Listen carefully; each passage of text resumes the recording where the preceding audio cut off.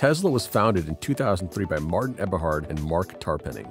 Elon Musk joined the company in 2004, investing over 6 million of his own money and becoming chairman of the board.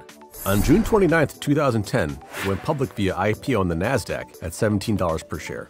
On July 6, 2017, Tesla stock crashed after delivery concerns. The company lost more than 12 billion.